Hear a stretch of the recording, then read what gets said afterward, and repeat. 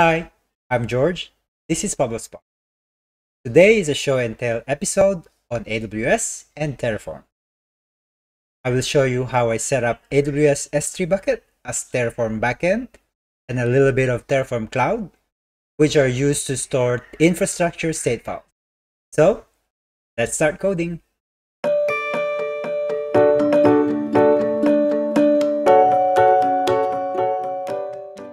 Before we start, let me show you the VS Code extensions that I use for Terraform.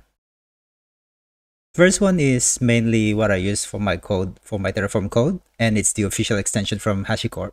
Um, I'm not sure if this is this comes with the installation of the extension, but what I've also done is I've updated the extension settings, and this snippet here, it just allows me to automatically format my Terraform code after save.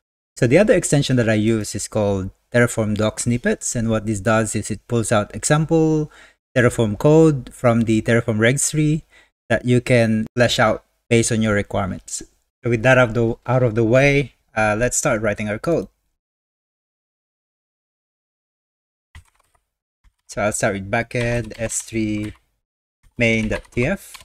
And so what are the bare minimum infrastructure resources that I need to set up for this exercise? So in here, I need an S3 bucket. And then I need a Dynamo DB table, which will be used for locking mechanism. Let's start creating the S3 bucket. So if I start typing tf, so I've got a skeleton code that I can just update uh, based on my requirements. So I'll change the name, call it and call it S3 backend. And then because I've introduced a, a variable set, I'll just start writing a new file in here, variables.tf. And this is where I'm going to put all the variables that I need to define. Let's drag that down there. So I need to define and then I won't set any default uh, field. I want the, the value of this variable to be a required input to my Terraform code. So if I save that, you'll notice that the code was reformatted automatically like the, the, the equal signs are all aligned. So ACL private, I'm going to end up creating other resources. So I might want to make my tags more generic across uh, resources. So what I'm going to do is I'm going to introduce a new file here called locals.tf. And then this is where I'm going to put all my local variables. Save that. Then go back to my main.tf and then get rid of all this and then use my local variable. So what other variables do I need to set up? Uh, because I'm going to be using my S3 bucket as a backend, I need my versioning to be turned on. And then for security reasons, um, I need to set, I need to turn on my server-side encryption.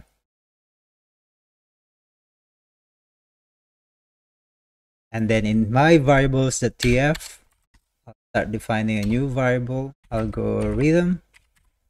Let's adjust this a little bit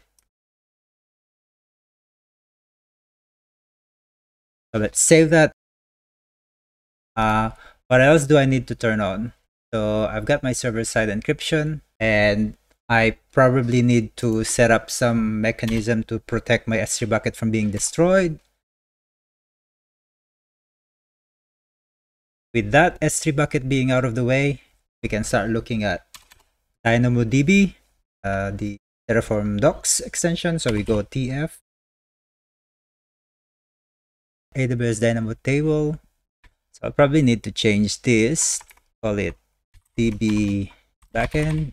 I can maybe set that as a variable again. Then come to my variables.tf and define a new variable called db underscore backend description.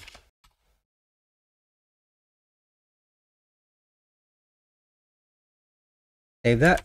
Let's go back to my main.tf. Um, maybe I don't need the billing mode. Get rid of that. Change this, change this to one. And then we need a hash key field that will define the field for the locking mechanism. And so we change this to lock ID, range key, we can get rid of that. And then because we define the hash key, we'll use the same value as our attribute. We can get rid of the rest. Then for tags, then we just use our local variable tags. So I think that's it. So we've got an S3 bucket and a DynamoDB resource code ready to be stood up. And then I need to be inside the directory where all my Terraform config files are. So that will be side backend S3. And then I'm going to start running Terraform init. And then because we're going to be talking to the AWS API, I need to set up some AWS credentials on my session, terminal session. So I already have so I, I already have a profile set up on my machine. So all I have to do is export AWS profile. And my profile is called admin. And then now if I run Terraform plan, it's asking for DB backend. Um, we didn't call it DB backend. Let's have a look. So we have a variable in DynamoDB called DynamoDB name. So I think we've named our variables incorrectly. So let's fix that. Let's get out of this prompt for now. Then fix this and then update our variables definition to use the right one. Okay. Let's clear this out. So let's copy that variable name and go to our variables.tf. So I think we named our variable incorrectly again. So we just change that with bucket name, save it. Once it's saved, let's run Terraform plan. DynamoDB name,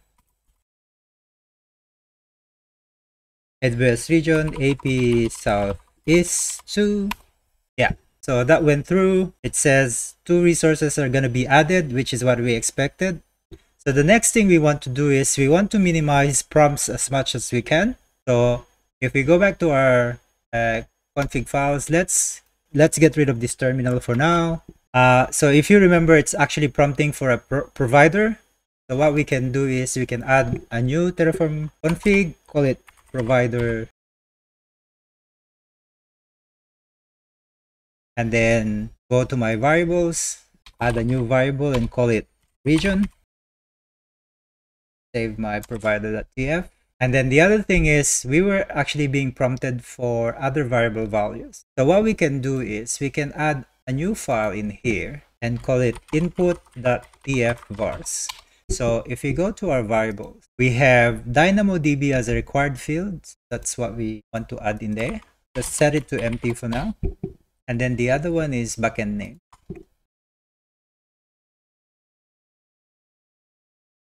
Save that. And then we go and open our terminal again. And then clear that out. And then instead of just running Terraform plan, I'm to go Terraform plan and use my input.tf files. So it's the same result, two resources to be added. But before we go any further, let me just point out that if we go ahead and apply this infrastructure so that uh, they get stood up in AWS, what will happen is your state file will be saved locally, which is probably not the best place to um, you know persist your state files. So so what we will do just for this specific exercise is that we will save our state files in uh, Terraform Cloud. This is Terraform Cloud and it's accessed via app.terraform. So let's start writing uh, the Terraform config file that will hook up our infrastructure into Terraform Cloud. And then in our code, I'm going to create a file called backend.tf.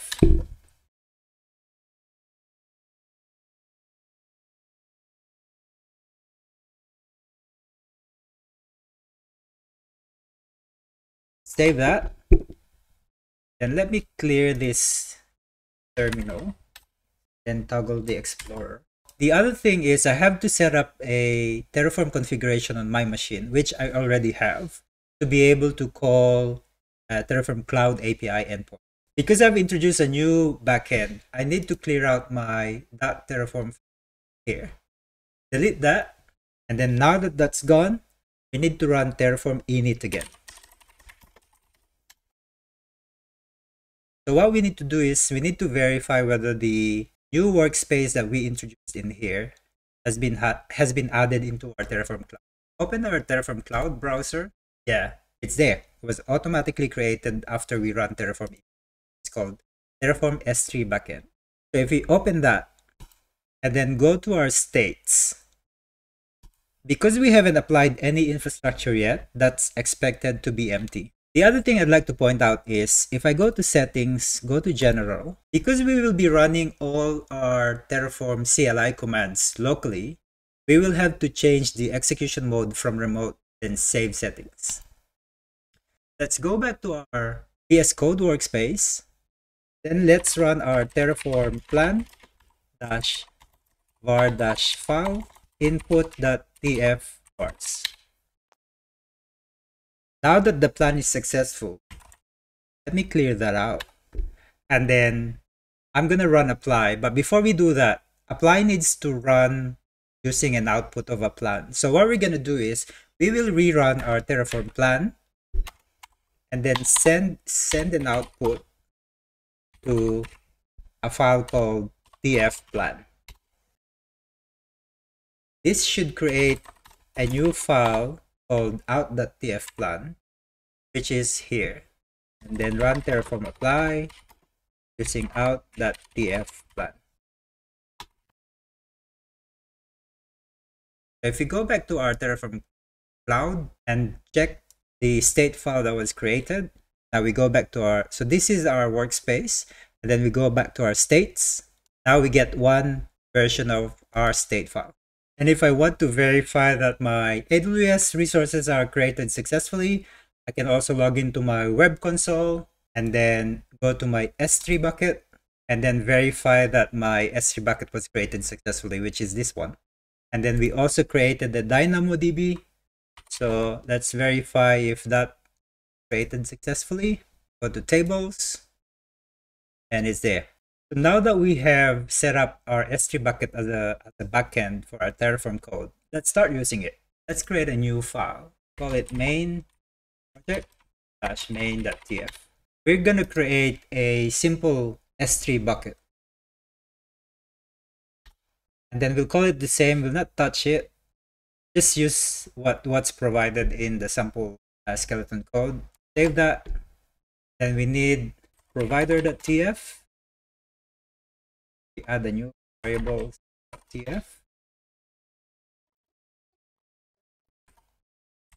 backend.tf we'll say terraform so now that we've defined all the parameters for our s3 bucket backend let's start running terraform init and then with init successfully completed, let's define a TF workspace, set that to dev, and then we'll run Terraform workspace new the TF workspace. So this will create the dev workspace inside our S3 bucket. So once that's done, we need to run Terraform init again. And then we should be ready to run Terraform plan. Whereas var file, I don't think we've got any var files. We'll just go out tf plan. And then with plan being successful, we should be ready to stand up our infrastructure. So we'll just go terraform apply out.tf plan.